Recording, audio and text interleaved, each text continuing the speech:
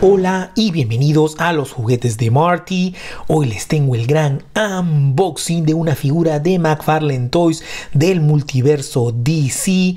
Hoy les tengo a Batman, la versión del Dark Knight Trilogy, la versión de Christian Bale. Y este Batman es parte de un Collectible, un buff para formar a Bane, el Bane que vemos en la tercera y última película de esta trilogía de Dark Knight Rises.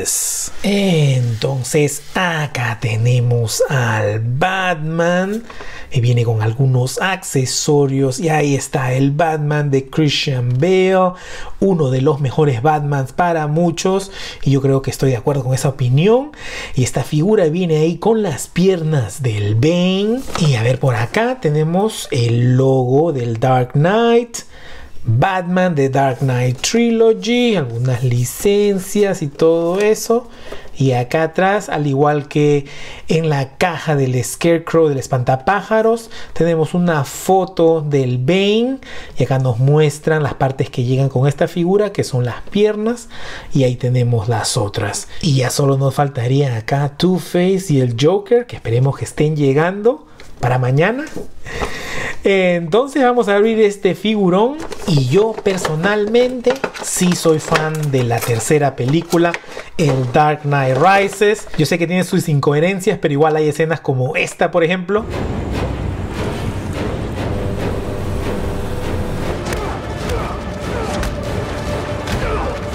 Y ya saben, acá tenemos la tarjeta del Trading Card. Ahí está, es una foto de Batman. Si no me equivoco, esta es una foto del personaje. Y ahí tenemos el parador.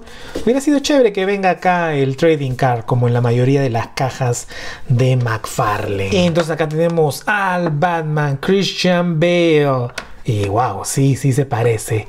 Ahí están los accesorios, ahí de un color dorado muy chévere. Entonces vamos a sacarlo de su prisión de plástico.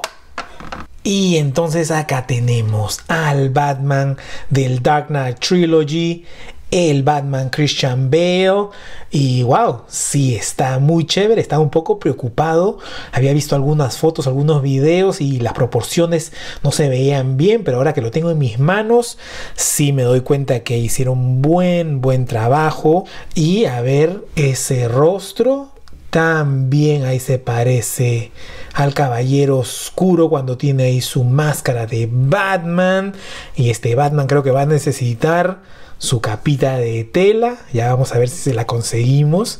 Y sí, buenas proporciones, buen esculpido del cuerpo, de la armadura y del rostro, buena pintura. Tenemos bastantes detalles en lo que es la armadura, el traje, acá por todas partes y este guantelete de brazo obviamente ya saben viene con unas cuchillas yo creo que se ve muy chévere también y acá su utility belt también está bien detallado y tiene ese bonito color dorado que hace juego con los Batarang y su grappling hook y sí, la figura se ve muy bien en mi opinión. Vamos a medir acá este Batman Christian Bale. Está en sus 7 pulgadas y un poquito más. Ahí por las orejitas, los cachitos, los cuernitos hacen que esté un poco más alto. ¿Y qué tal se mueve el Batman? A ver, vamos a empezar acá con las piernas. A ver, tiene una doble articulación acá en las rodillas. Acá los pies se mueven muy bien. Y a ver la punta de los dedos también. Esas piernas muy bien. A ver la cintura se mueve muy bien. El pecho también se mueve. A ver esos brazos. Esta figura, a comparación del Scarecrow, eh, esta de acá sí tiene la articulación mariposa. Y también obviamente doble articulación acá en el codo. A ver esas manos. Muy bien. A ver acá. Y esta parte de acá va a molestar un poco. Ah, dependiendo cómo lo vamos a posar parece que va a fastidiar a ver si lo tenemos así está muy bien si da ahí un un hookazo, un hook ahí ese puñeto va a estar bien pero a ver cuando esté acá mmm, parece que va a fastidiar ahí Acá las sombreras se van a ver medio raro. Mm, lástima. Lástima porque yo sé que otras figuras de McFarlane Toys que tienen esta misma parte no tienen ese problema. Y obviamente esta hombrera es un GB que en otras figuras hemos visto ese material acá en esta parte, pero de ahí ya no, no veo ese material en otro lado que no sea, por ejemplo, la capa o como he mencionado acá, las hombreras. Y ahí está la cabeza, muy bien. Y como ya había mostrado acá, la capa es una capa sencilla de un GB ahí que se puede doblar y va a permitir posarlo de diferentes maneras, pero igual yo quiero ver si le consigo una capita de tela. Entonces dejé mostrarle las cosas que trae este Batman. Como ya saben, vamos a formar al Bane con todas las figuras. Es el Buff. Y acá tenemos sus piernas. Ahí están sus tremendas botas. Muy, muy chévere. Se agradece. Acá tenemos su grappling hook de un color dorado, al igual que su cinturón, su utility belt. También está bien detallado ahí, muy muy chévere. Y viene con tres Batarans también de un color dorado y acá sí no hay mucho detalle es liso plano y yo creo que brillan bien me gusta cómo brilla ese color dorado. Entonces vamos a ponerle pues ahí sus tremendos accesorios a ver qué tal se ve. Entonces acá tenemos al Dark Knight. Y se ve muy chévere ahí sosteniendo su grappling hook que hace juego acá con su utility belt. Muy chévere se ve así. Y no sé si me hubiera gustado más manos de repente ahí, de repente una extendiendo las manos o una de repente haciendo su karate chop, pero no, se ve muy bien en esta pose y ya saben, ese grappling hook se ve muy cool, está bien detallado como ya había mencionado, es una buena pose. Y entonces acá lo tenemos con su Batarang que me hizo sufrir un poco, yo creo que sí necesitaba más manos extras ahí para diferentes poses, para agarrar de diferentes maneras. Pero sí, ahí quedó muy, muy chévere este Batman. En verdad sí, estoy muy, muy contento con esta figura. Definitivamente hasta ahora mi favorita si lo voy a comparar con el Scarecrow. Definitivamente este le gana por un millón.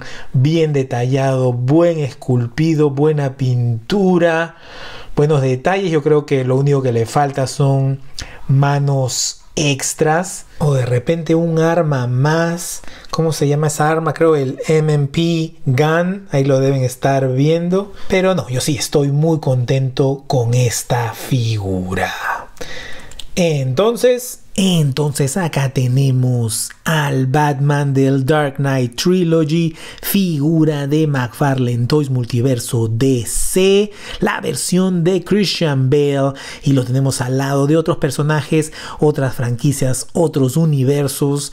A la mano derecha lo tenemos al lado de Shredder, el Destructor. Esta es la versión de la película Las Tortugas Ninjas de Secret of the Ooze. Y a la mano izquierda lo tenemos al lado de Gore, el Carnicero, que también fue interpretado por Christian Bale y esta es una figura de Marvel Legends. Y este Gore el carnicero está en sus 6 pulgadas y un poquito más, mientras que Batman y el Destructor están en sus 7 pulgadas. Y ahora lo tenemos al lado de otras encarnaciones de Batman, también figuras de McFarlane Toys.